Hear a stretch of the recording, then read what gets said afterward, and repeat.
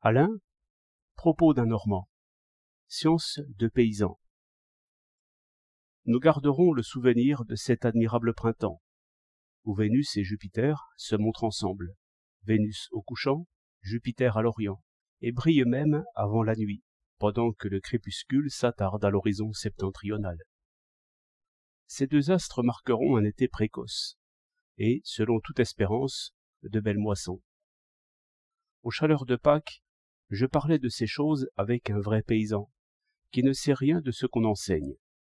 Je lui disais, cette sécheresse n'est rien de mauvais, car la terre est mouillée en dessous depuis l'autre année. Mais il me dit, cela est pire que tout. Il vaudrait mieux que tout fût un peu cuit, car il y aura une croûte de terre sèche à la surface. On peut compter que la moitié des graines sera dans le sec, l'autre dans l'humide, ce qui fait que les unes germeront avant les autres, et mûriront avant les autres, et nous n'aurons qu'une demi-récolte. Ce discours m'est revenu plus d'une fois depuis. J'y vois tous les caractères d'une science irréprochable, car non seulement il annonce sous condition quelque chose qu'une expérience constante a permis de remarquer, mais bien plus, il explique par les causes. Il m'ouvre la terre, il me fait voir ce qui s'y passera.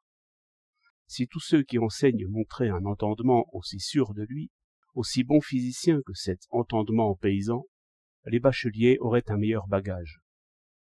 Réellement, quand nous voulons décrire la routine aveugle du paysan, qui n'aurait qu'un instinct pour lui, comme en ont les abeilles, nous sommes tout à fait loin du compte, j'en ai peur.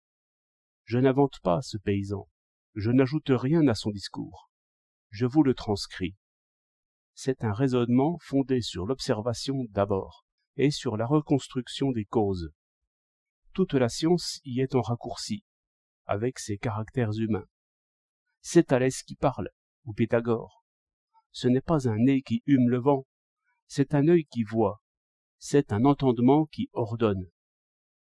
Il faut se dire que les enfants de l'école rurale, qui annonnent si sottement, ont peut-être dans la cervelle cent ou mille notions de cette valeur-là. Si l'on pouvait deviner ces notions, les mettre au jour, partir de ce qu'ils savent, je n'ose pas dire jusqu'où on les conduirait, car, autour d'une notion bien claire, tout s'ordonne au commandement.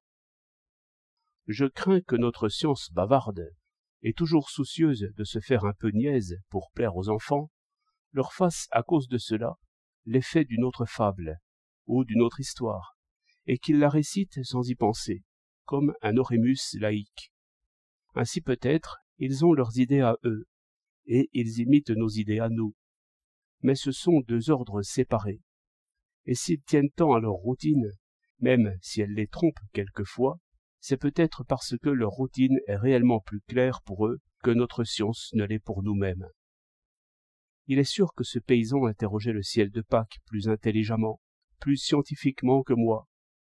Heureusement, ce doux mai est venu, avec ses caprices de lumière, ses jeux de nuages, ses ondées tièdes, sa chaleur moite, ses parfums lavés.